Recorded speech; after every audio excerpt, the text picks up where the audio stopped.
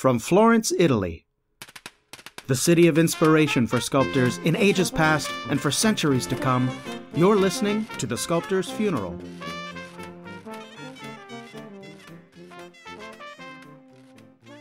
And a very good day to everyone, and welcome back to The Sculptor's Funeral. I am your host, Jason Arkles, a sculptor and teacher living and working in Florence, where all the great sculptors are dead. And I don't feel so well myself. And today we're going to hear a conversation that I had with British sculptor Mark Jackson. You may remember Jackson, known to his friends as Jacko, as the collaborator with sculptor Charlie Langton on the Pegasus and Bellerophon statue they created as part of the memorial to the Parachute Regiment and Airborne Forces in the United Kingdom. I interviewed Charlie and Jacko near their studios in Wiltshire in April 2015. But then the next day, I caught up with Mark Jackson for a conversation to hear more about his career and his work. We met at the painting studio of a mutual friend, James Hayes. James's studio is a bit of a figurative painter's dream. It was purpose built as a painter's studio in Earl's Court in London in the 19th century, and the lighting is perfect, and it's filled with James's work. He's a portrait painter. But on that day, James Hayes was acting in the capacity not of artist, but as artist's model. Jacko had come to model James's portrait in clay. Okay, and chin down, please. Chin down. Yeah, that's great. Thank you. Instead of sitting down with Mark Jackson to have the interview, he preferred to sculpt and be interviewed at the same time, which should come as no surprise to anyone who knows Jacko. Taking on as much as he can is his standard procedure, and he somehow manages never to take on too much or give a half hearted effort to anything. Mark Jackson is the sort of artist I admire the most, one whose work is in alignment with his personality and life experiences. Much like his friend Charlie Langton, whose lifelong passion for thoroughbred horses has found an outlet in his work, Mark Jackson has a history. Calling it a previous life isn't too much of a stretch and his experiences have given him unusual depth of insight into various facets of society, gaining intimate knowledge of groups and subcultures in our society which many of us can only view from the outside. This intimacy influences the work that Jacko does and how he does it. Mark Jackson started out in the military. He was commissioned into the Parachute Regiment in 1995 and served in several tours and missions around the world. He would eventually move up the ranks to become acting major of the 3rd Battalion of the Parachute Regiment, or 3rd Para, as it's commonly called. But back in 2000, Jacko's foreordained career in the military took an unexpected turn. So yeah, but then uh, then because you were you were a, you were a para, right? Yes. You did jumps. How many jumps? Uh, Uh, not that many actually. Oh, no? um, uh, that's 150. No more than not that many. Huh? Okay. Yeah. I know, but I mean, you know, as a you know, Right. people right. people who who jump regularly, you know, and who are experienced uh, freefall parachutists, you know, they have jump numbers in the in the thousands. Right. Right. But then you went on vacation. Yeah, busman's holiday, and um, just uh, was in a bit of a tight spot coming down, and made what turned out to be a wrong call too close to the ground. So, um, yeah, just just hit the ground a bit too hard. Uh, I said, you know, damaged myself enough that it took me nearly a year to get back to work, but I was incredibly lucky. My head and my spine were intact, um, and what I did actually does usually um, end in a memorial service. So I was lucky in many ways. Right. Right. Yeah. Wow. Now you you you left the army as a major uh, after uh, well a few years after you had you had a very uh, uh, bad parachute jump. Didn't end well. Uh, uh, but you stayed in the army for another two years after that. I actually didn't know that until very recently. I didn't realize Yeah, that. well, I mean, it took me um, uh, just shy of a year to actually get back to duty, um, which is a process of operations and rehabilitation, and um, and then subsequent to that, I then stayed in for two years when I'd already made the decision to leave the army and pursue art, but it was a practical matter of needing to funding the study. So uh, you know, I can't claim ultimate foresight all the way through, but it sort of felt right at the time. And with hindsight, it was a good thing to do because I could have a gentle transition out of a military mindset and just start getting my head into you know you literally it's the other side of the brain isn't it in, in many ways? Um, although there's, there's more overlap than, than, than um, the stereotypes of either would, would suggest but uh, um, yeah having that transitional time um, was uh, was fantastic because I was uh, you know ge- genuinely very passionate about the public service and, and the good that we did. Um, the best bits in many ways aren't in the cultural um, conscious in the ways that the question or the, you know, the, the or debatable um, uses of, of, British armed services in you know, the last 15, 20 years. Um, so, for example, if I said I'm maybe, you know, could be said I'm, I'm proudest of our involvement in Macedonia, you probably don't even know what NATO did in Macedonia, especially the British Army. And we essentially stopped the civil war before it started. Now, even our own public don't really aren't really aware of that. There was nothing worth reporting. Nothing happened. Is there a better use of of of, uh, of a you know a standing army in Europe than to stop a you know a civil war in the Balkans before it starts, right. especially with the precedence of the sort of genocide that had gone on in neighbouring countries previous to that. Um, so those sort of involvements that we, as people who took part in them, carry with us. Um, but if you know if we if we talk, if you know people who are aware of our service, conversation will obviously, more interestingly, come around to deployments uh, like the Middle East and Af- Afghanistan. Sure. Uh, where the long term effects of those are still to be seen.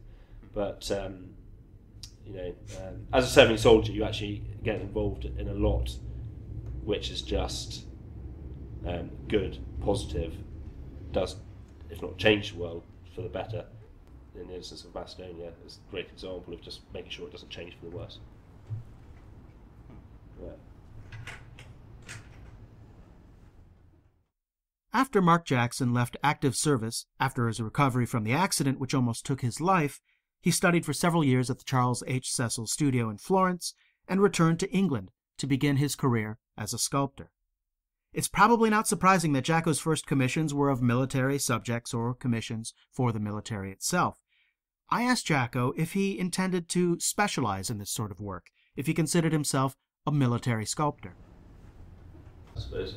Yeah. As I hate being kind of, I will hate being defined too much or anything, but. Yeah. Really, do you feel like you're pigeonholed a bit as a like a military? Uh, I, th- I, always think there's a danger of that, and I that's when like military commissions come around. I'm always a little bit. My first instinct is, uh, both on a slightly personal level and also well, because there's not much freedom for kind of uh, interpretation if it's military commission, basically, in that. So again, it's a matter of you know, perspective and motivation. So, me as a sculptor, if I'm sculpting something, I can be concentrating just on the sadness of a group of young people who have lost their lives for the service of their country, often um, because of politics. You know, it's not for them the politics. They, they are they are the, the firemen and they get sent to put out fires. You know, that's what defence should be about. But the political ramifications of the decisions to deploy, you know, any um, potentially lethal force anywhere around the world can often be called into question. Now, so if you represent if you represent a campaign physically, it includes both. But you don't, you know, what I would like to um, remember or be remembered for in terms of my involvement is a sort of the the, the, the political um, vagaries around any any campaign, um, you know, projection of foreign policy, basically. Right, right, and uh, of course, in my mind, I'm focusing on the sadness that um, you know, people have lost their lives in service of the country, and that's what they are doing. And, um, therefore, a physical manifestation of essentially what can be um, often, you know, uh, conflict involving fatalities, uh, which is never to be glorified. And it's, you know, it's, it's the same. It's the same like war films. They say um, every war film is an anti-war film even if it's done with sort of propaganda and glorification, actually, then you read irony into that. So you know, any any war memorial is an anti-war memorial. You know, it's not glorifying conflict. But that's probably not the point of view that the people who are actually commissioning the work feel about sure, your work. Sure, but if and you, so have a, yeah, if you have a if you have a physical manifestation, a reminder of you know, like a military memorial in London, we have many of them, as do many capital cities around the world. Um, a, it's, it's, it's a shrine for the family and friends of those who, who've lost their lives, and it's always poignant. Um, and it is, for those individuals who've lost their lives, it is a noble sacrifice. The reasons why they were there and died may not be noble or might be up for debate, but for them, it was noble. Um, and so it is a shrine and a, and a memorial mainly for friends and family. But actually, also, rather than glorifying any involvement in any campaign, if that can be a physical reminder, it's a thing that the politicians and the decision makers and the leaders will be walking past and driving past regularly, it'll be part of the fabric of their life. You know, it is a reminder that people people die when they send armies to get involved in conflicts.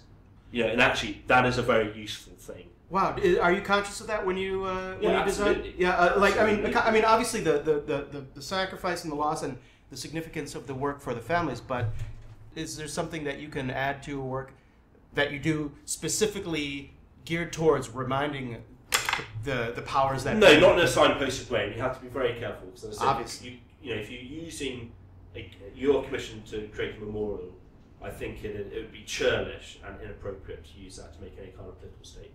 Sure, not a political statement, but as you say, a, a reminder. Is there something that? Uh, well, and, uh, only just, that. Just as I said, you know, tone. the, the people who, who I say make the decisions that lead to, to war memorials having to be created in the first place uh, are not stupid people. It doesn't need signposting. You know, you can't look at a war memorial without thinking about dead soldiers. You just can't. Um, and you know, they do. Fe- they feel the gravity of their decisions intensely. Of course, they do. Um, and you know, like it or not, debate it or not, we're still in a world at the moment where sometimes uh, lethal force or the, or the just the threat of lethal force is it is a valid tool in, in diplomacy in our, in our relations around the world.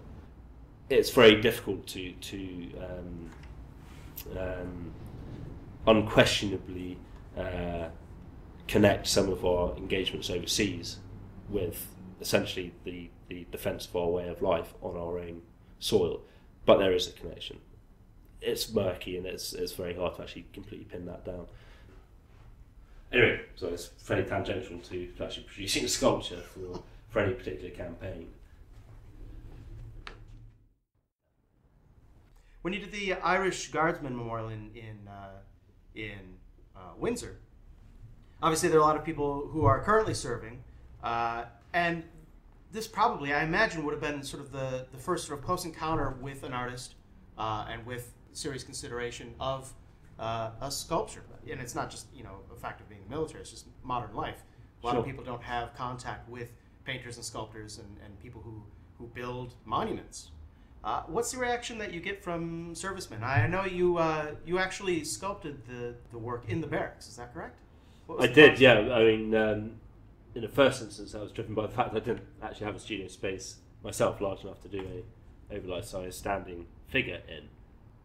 It uh, it did add value to the whole experience, certainly for myself, and I hope also for um, uh, for the commissioners and those that they commissioned the piece on behalf of, because it became sort of quite a holistic experience. You know, I was um, uh, engaging with uh, you know with them, you know, from commanding officer to newest private soldier on a daily basis, um, and that informs you know every every regiment um, has a different culture. than you know the British Army is often best described as a, as a collection of tribes who worked for a common purpose, but they all have their own culture.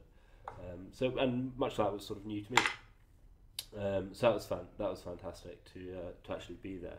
It was an interesting, the most interesting psychological aspect of that commission was the fact that when they first got in touch and we started talking about the commission, they were actually uh, halfway through a tour in Afghanistan at the time, and it was a, a fighting tour.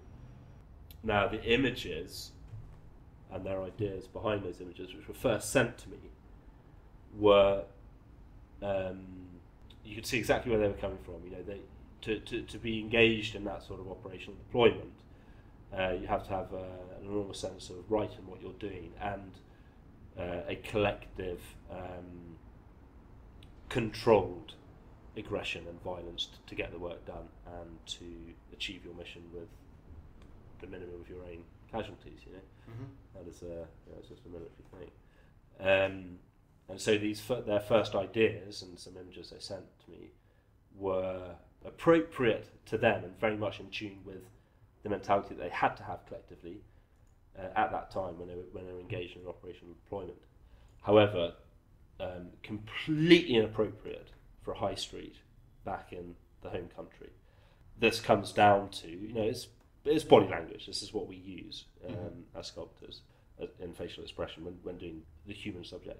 So what was And- what was their input that wouldn't be uh, it's you know it was it was it was a, it was a, it was a it was an, uh, almost a caricature of a um, aggressive um, dynamic pose you know so it's you know it was very much it was almost like a sort of John Wayne stance you know weapon up on the shoulder leaning forward you know into the fight um, a dramatic image um, uh, which tied in with how they had to feel about themselves then. And this is what they were doing. It would have been a, a body posture that was seen daily, but it had a certain uh, sort of inappropriateness when it came to actually remembering the dead, which was the main purpose, and actually you know having something which would engage passers-by, or as I say, Right. maybe even leadership uh, yeah, as part of our, our, the fabric of our sort of public spaces. And so it actually took quite a few months in the first instance through dialogue and, and through a series of very quick thumb sketches to just tailor their first ideas into something which actually incorporated more about the nobility of sacrifice and a quiet strength and courage, um, which are the more timeless and more um, um, memorable in my mind sort of qualities.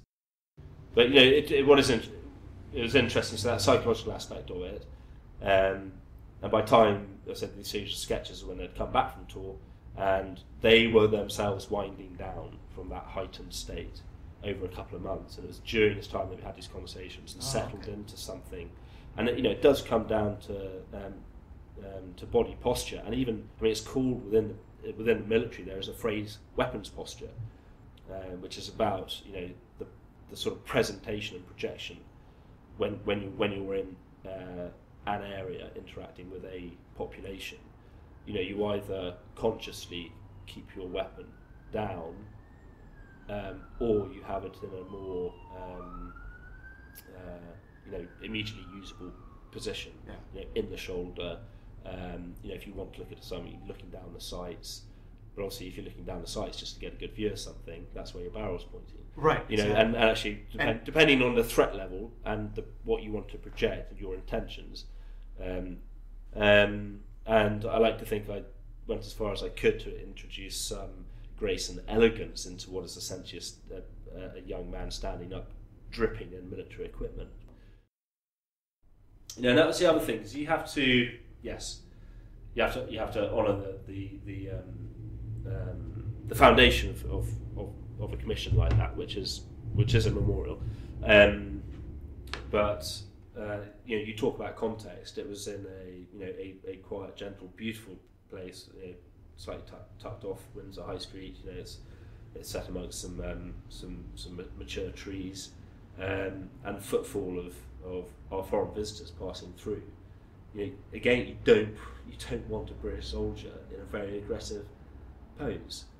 now, when you you used an actual soldier as the model for your uh, for your statue, is that correct? Yes, For the Irish. For I the mean, Irish a, a handful, one main one, and then I, I was just grabbing people as I needed them. Really, Really? And, uh, well, like when he saw a guy walking by that had the right kit on, sort of thing, or I just sometimes anyone who was free, sometimes you just needed literally a sort of uh, a, a human mannequin.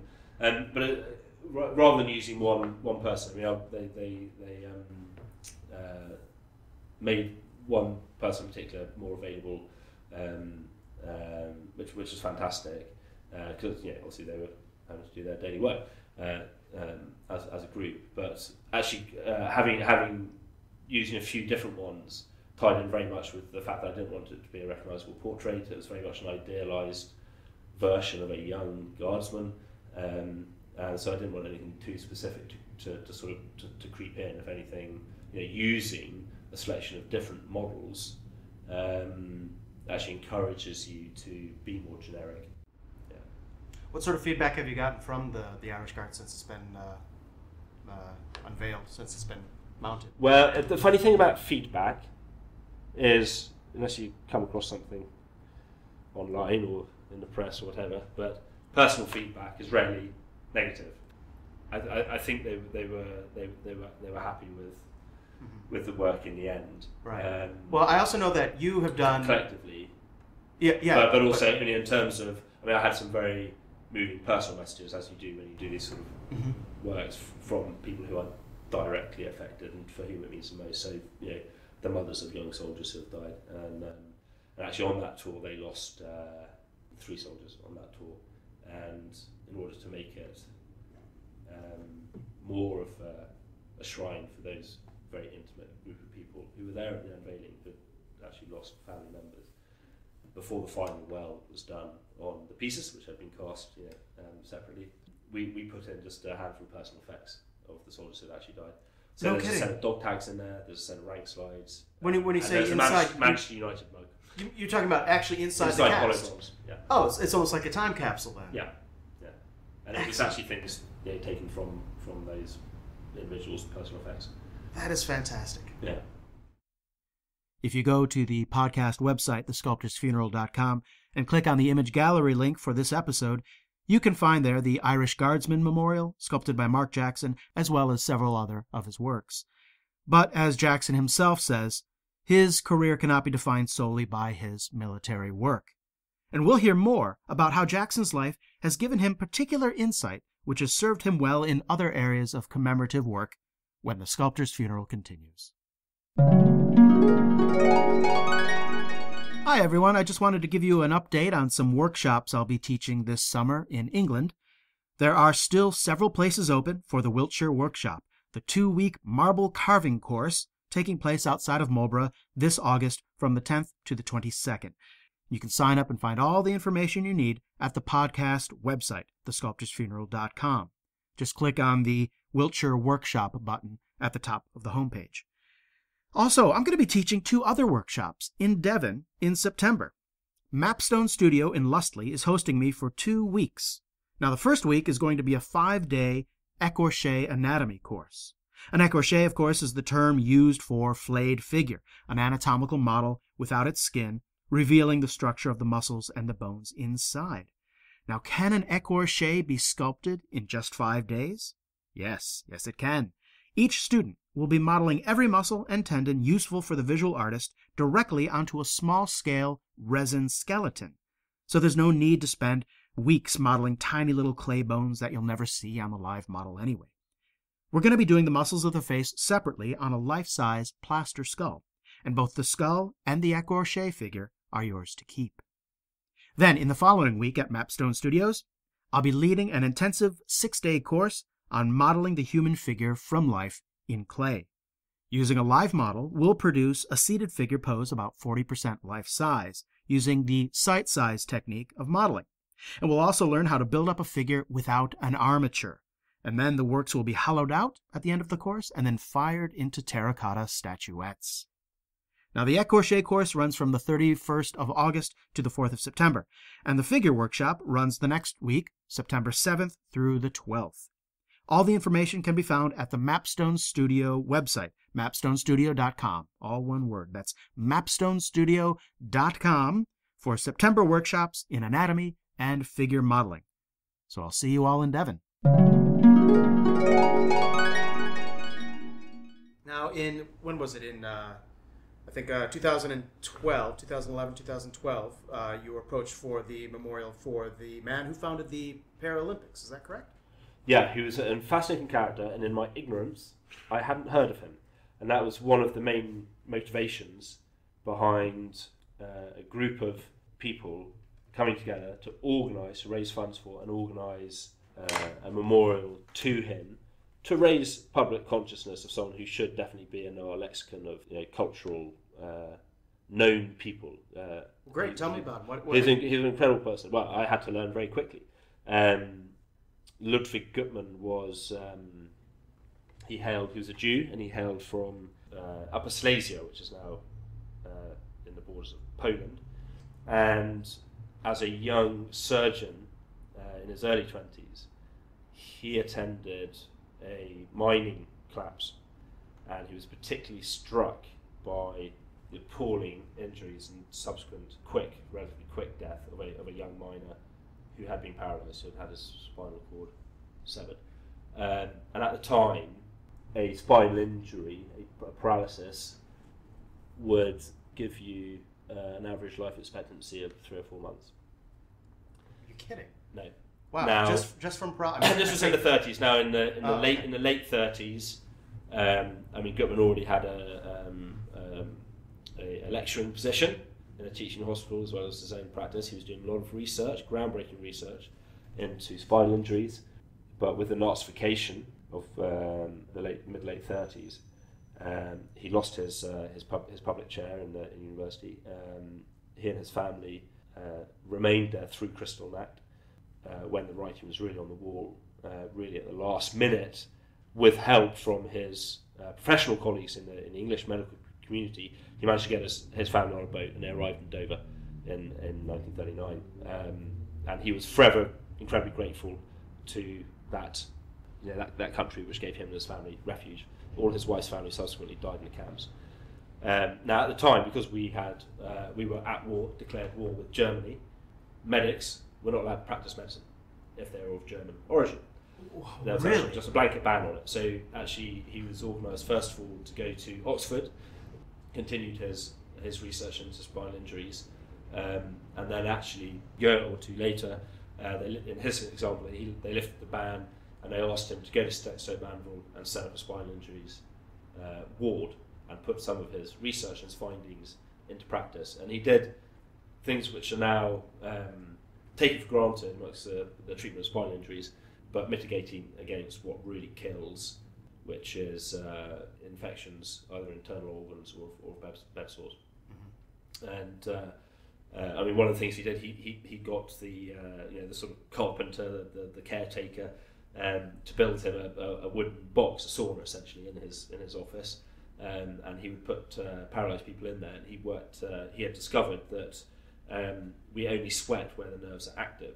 So actually, if you can if you can uh, make a sweat map of the surface of the body, you can um, be quite accurate on a superficial level about where nerves are still alive and where they where they are dead. Interesting.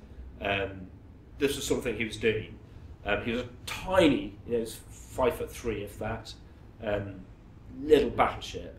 Um, I think very, a very uh, um, uh, difficult, sort of brash man, very energetic, uh, but but with a, a huge heart.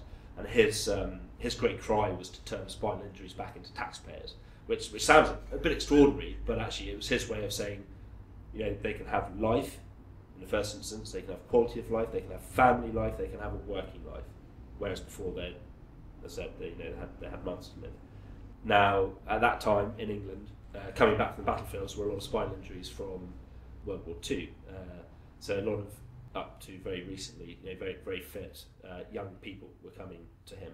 He incorporated activity. He was the first one to use any physio on spinal injuries, and those who did have some form of mobility, he encouraged to get up and get active, and, and started uh, playing sports. They played a version of sort of uh, um, sort of wheelchair hockey, um, archery, anything which anything which which which they could do if, if they could, depending on their um, basically their sea level of, of paralysis. As part of this, you know, for really for so it's for fun more than anything else, they held the Stoke Mandeville Games uh, uh, a couple of years after the war. Um, um, yeah, I think a group of uh, paralysed uh, patients, athletes from Holland, I think it was, came over, and there was the first international games, and that transpired and became the Paralympics. Um, and Guttmann himself, I mean, continued running the spinal injuries unit here at, at Stoke Mandeville, which was a world leader. You know, for, for decades, but even when he sort of stepped away, retired from that, he, he continued in a sort of supervisory role was at the Paralympics. Um, and so the Paralympics was always seen as a kind of tier two event. Even dare I say it, it was a source of some kind of sort of, if not mockery, it wasn't particularly taken seriously. The, A bit of the athletes weren't taken seriously as sort of thing, athletes. yeah. It was crazy. and it was more of a spectacle. Um, and it just so coincided. I think that the time had had come for Paralympic athletes to be seen for what they really are, as, as you know, in many ways almost sort of superhuman compared to their disabilities. You know, and, and it came home with, with with our last games, summer games here in London. The first time the Paralympics has stood, even in terms of viewing figures and popularity, uh, superseded the actual normal Olympics. Uh, so the, the Guttmann statue was commissioned to celebrate him, to tie in with having to uh, to raise funds to continue good work in his name um, in the area of the arts. So whereas he had certainly dedicated a large part of his life to the use of sport and activity in the treatment of, of spine injuries, um, and, and his certainly his ethos and his achievements can be seen outside the spinal injuries world. You know, so talking about amputees or um, people born born with uh, with um, um, physical challenges, and there was a group of essentially people who were uh, his, his had worked with him or had even been patients of him, um, who got grouped together and they wanted to set up a charity and raise money to fund the use of arts and rehabilitation in the way that he had done with sport. So that ties in quite nicely, and it was an incredible experience for me. You know, I, for example, I, I um, one of the commissioners has become a firm friend. Uh, Mike McKenzie, an incredible man, um, who had actually uh, lost a leg and been paralysed in a road accident in Bosnia, uh, working for a, for a for a charity himself. Subsequent, subsequently lost lost the other leg um, um, with complications, and uh, you know uh, a year after I think we completed the statue, I, I ushered at his wedding. So to be to be um, welcomed in uh, and and so informed about that subculture, which you might not necessarily sort of brush up against, Right. um, was, was fantastic. You know, on a really sort of human level. Well, let me ask you. I mean, uh, okay, with your background in the military, your your accident, uh, and the arts, uh, were you were you approached for this, or is this something that you applied for? Because frankly, you seem like the perfect person to do this memorial. Well, um, that's very kind of you to say so. Um, Well, I mean, and, and, I mean, um, how many other them- people have and your the- exact and, and we'll put it, the commissioners were of the same thought. So actually, that one came about um, uh, on the back of a small article that happened to be in the national press following an exhibition I'd held soon after coming back from Florence, and they just um, read the article and got hold of me because they Right. thought, they thought the same thing. yeah, yeah. Well, I mean, I, I can't think of anyone, military, art, uh, injury. You're you're you know you kind of fit the bill. Yeah, as um, as my uh, uh, paralysed very good friend dismissively um, says, I, I'm a near miss, as in you're not in the game. Uh, Yeah. Where is the Guttmann Memorial? Um, it stands at the entrance to um, Stoke Mandeville Hospital, which is the uh, National Spinal Injury Centre. Where's that located? Stoke Mandeville is a, is a Oh, that's the name of the town. I'm sorry. yes, it's, it's, it's named town. I don't know. Stoke Mandeville. Stoke Mandeville, so. Buckinghamshire. Oh, okay. Um, there's also a separate bust that we, well, uh, there are busts. Um, the, the Guttmann Trust, who commissioned the statue, they have a bust. Um, Wheel which is the charity which runs the Paralympic uh, training stadium at Stoke, Stoke Mandeville, um, they have a bust. But there's a bronze bust which um, was um, funded by a sponsor um, and now belongs to the Inter- International Paralympic Committee, so it's with them in Bonn. And the um, the hope is that you know he, that bust will travel to every Paralympic um, games. Oh, future. fantastic. Yeah. Oh, neat. So, what are you working on now? These days. Um, right now. well, um, I know, right can now see, you're doing a portrait of James a Hayes. portrait of James Yes. Hayes. This is your second shot, right? distinctly average painter. Um, um, The Uh, girl but in terms of the, my my last um, statue was actually my first corporate commission for a, uh, a philanthropic finance house based in Dubai. Philanthropic Finance House. Yes, that's what I thought. They're quite an interesting corporation headed up by uh, a very um, kind of incredible person in his own right who has uh, a large amount of personal wealth. Um, they don't have any private clients. Uh, they just um, use his money to, to increase their pot and they spend it on some very large scale philanthropic projects around the world, Oh, especially wow. on the continents of uh, the subcontinent of India and, uh, and the African continent. It, in- it on a on a um, academic level, it raises quite an interesting sort of line of debate.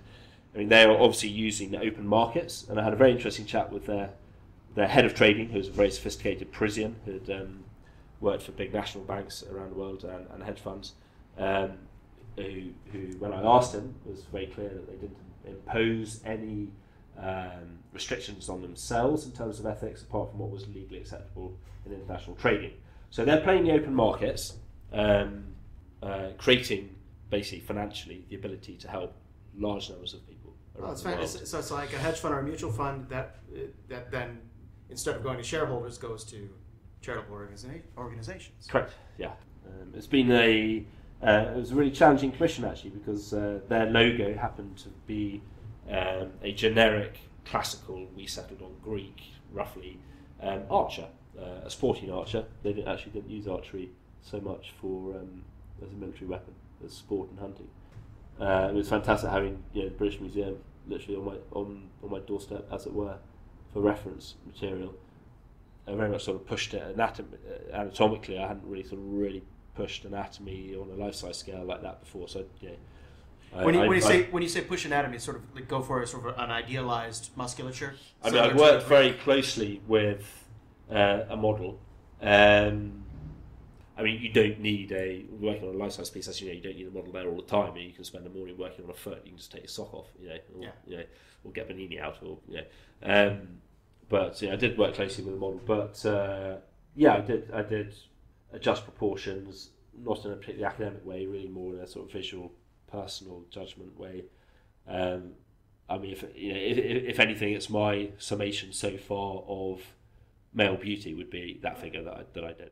One, one of my friends, a, a painter, who's Yeah. um, who's uh, a very, a very uh, fun, fun, uh, colourful character. Um, actually, his, his his canon is the wine bottle. He says, you know, from uh, wine bottle. yeah, from you know, uh, you know, from the, in terms of the proportion of, of, of what is above the collarbone to that is what is below is the same as the neck of a wine bottle. No kidding. Yeah, well, Huh. But uh, Bordeaux or Yeah. white, yeah, that's uh, Riesling. Yeah. But uh, no, but uh, so so yeah, so Poly, uh, um, yeah, Polyclitus had a seven-head high canon, but his uh, and he was famous for it. He still is famous for developing the canon. Yeah. But his own student Lysippus came up with one that is eight heads high, and everywhere you go, every every uh, Greek sculptor apparently basically developed their own canon based on their own. Uh, sort of fairly personal definition. so it wasn't, there wasn't so not much of one- a, as a template as we might initially. no, that was an idea that became fashionable in the 17th or 18th and 19th centuries. Uh, that there is sort of this secret canon, and you know, if we Yeah. can only discover the lost canon of Polyclitus. Of course, he was famous because he, he actually wrote a treatise. He wrote a canon. Okay. and, and that's but that's And we- and we have that, we have no, that. no, No. that's the thing. So we, know only have wrote the examples in his work. We have the examples of his work, and we have uh, testimony, I think, from probably Pliny the Elder or somebody that uh, uh, that he wrote exactly his sort of secret formula to the perfect human. Yeah. But the thing is, that was his secret formula. It wasn't all for all Greek Okay. sculpture. It was really Yeah. as personal as uh, as what you know what you yourself did for that. one. yeah. that's really cool. Did you actually? I mean, did you did you write it down? Was it a conscious thing, or was it more of an intuitive thing as you went? You're like this more looks visual and intuitive. yeah, and what looks just- right and what doesn't yeah, look right. Right. yeah. Oh, very cool. Um, Are you managing to get any work done? yeah, yeah, no, I really am. You've got a really fluffy beard, Jimbo. At that point, I let Jacko carry on with his portrait bust of James Hayes. When I recorded this interview in London in April, I thought I came away with a pretty good interview about the sculpture of Mark Jackson. But in editing the interview this week, I realized that 90% of the time, Jacko doesn't talk about his sculpture per se, but rather who the work was for and what these sculptures mean to those who commissioned the work and what it means to those who will see and be impacted by the work. And I think Mark Jackson is very notable in this respect. So many of us end up working for clients who often do not interest us in a personal way. Any sculptor whose main market is the art gallery lacks that personal connection almost entirely. But so far, Jacko has been very fortunate to have had his career in sculpture mesh with his personal interests and experiences, what he regards as worth commemorating, allowing him to truly put his talents as a sculptor at the service of who he is as a person. The phrase self expression and the question of what that entails gets tossed around quite a bit by artists, but I think Mark Jackson's example might be held up as one way of doing it right.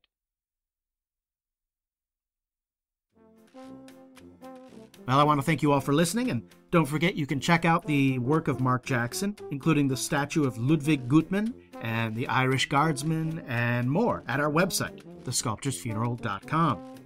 Please feel free to drop by our Facebook group page, The Sculptor's Funeral, and post a comment or a question, and join in the conversation with other sculptors from around the world. Have a good week, everyone, and I'll be back next week with more.